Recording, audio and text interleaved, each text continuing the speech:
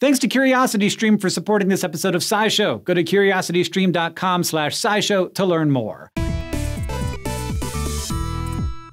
It seems like every time scientists learn something about sharks, like a new genome is published, everyone suddenly starts going on about whether this new bit of information will finally show us how sharks will cure cancer. And there's no doubt about it, sharks are awesome and they can do some pretty incredible things. But wiping human cancers off the face of the earth is not ever going to be one of them. Sharks are not invincible. They still get old, they get sick, and just like the rest of us, they can get cancer. So there's no magic cure hidden inside their genes, just like there wasn't one in their cartilage. So let us kill this zombie of a myth once and for all. The idea that sharks are swimming cancer cures all started back in the 1970s. Back then, researchers observed that cartilage, a flexible but firm kind of connective tissue, inhibited blood vessels from developing developing into different kinds of tissues. Since tumors tend to need a lot of blood to survive and grow, blocking this kind of blood vessel formation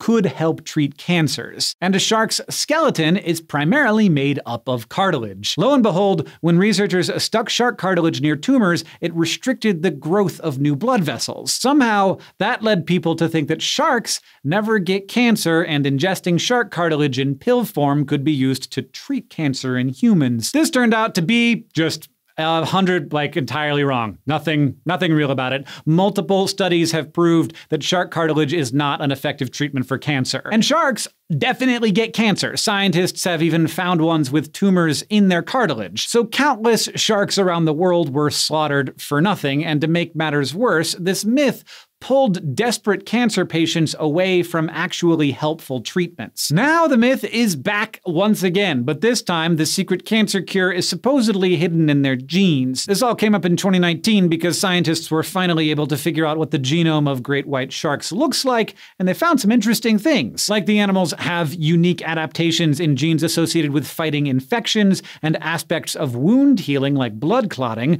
which could explain how they mend their tissues so quickly, and their whole genome is one and a half times larger than the human genome. A lot of that extra bulk is thanks to a genetic feature called lines. These small DNA segments are a kind of transposon, meaning they can move around on their own. And the proportion of lines in the white shark genome is among the highest found in vertebrates so far. That's of note because lines can cause genomes to become unstable, resulting in cancer. You see, a cell only becomes cancerous after enough errors have accumulated in its DNA errors that make it grow and divide when it should not, for example. So with all those jumping genes, you would think that white sharks were super prone to developing cancer. But they're probably not, and that's likely thanks to remarkable DNA repair. The researchers working on the white shark genome discovered that the animals also have a lot of tweaks in their genes to help fix DNA damage. That suggests the sharks have evolved a very effective genome cleanup crew, though functional studies would have to be done to confirm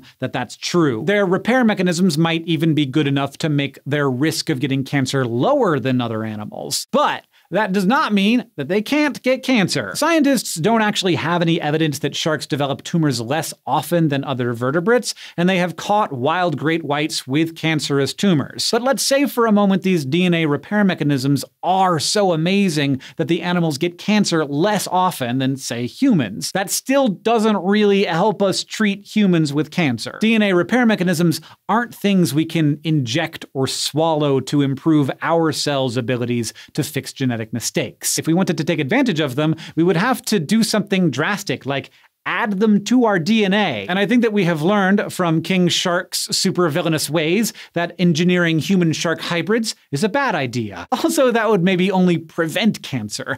Great DNA repair can help a cell from developing cancer causing mutations, but once a cell is past that tipping point, it's not able to undo them. In fact, making DNA repair better once you have a tumor basically makes matters worse. That's because health professionals often use treatments like radiation radiation therapy to damage the genetic material of cancerous cells, effectively killing them and stopping their growth. But if repair mechanisms in those cancerous cells work too well, they might fix the damage, allowing the tumor to bounce back. So oncologists are actually looking for ways to block DNA repair. There are molecules called DNA repair inhibitors that gum up these processes.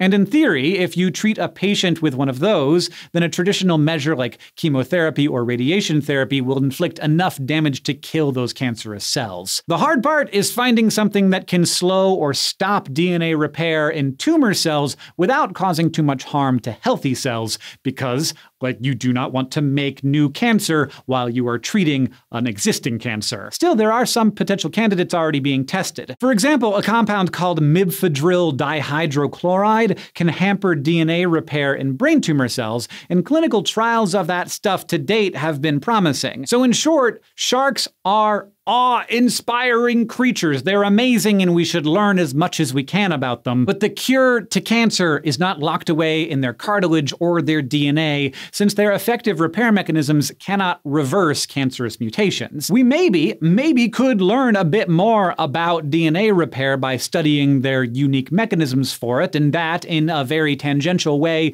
could eventually lead to new drugs that help shut it down when we need it to. But that even is kind of a stretch, and all of this this focus on how they're going to cure cancer distracts from the important stuff we learn by studying them. Digging deeper into those novel infection fighting mutations could lead to new kinds of antibiotics that help us stay one step ahead of resistant microbes, for example. Or understanding how sharks repair their flesh so quickly could lead to topical treatments that help seal up surgical wounds faster or reduce scarring. And ultimately, most of what we learn from sequencing shark genomes isn't directly related to human health. Comparing their genes to ours and other animals can provide new insights into how these animals evolved and how evolution works in general. So sharks can help us answer big questions about life on this planet and how we all got here. And that makes them worth studying, even if they're not going to cure cancer. There's just so much that other living things on this planet can teach us. And if you like learning about those things, you might like the videos you can watch through CuriosityStream. CuriosityStream is a subscription streaming service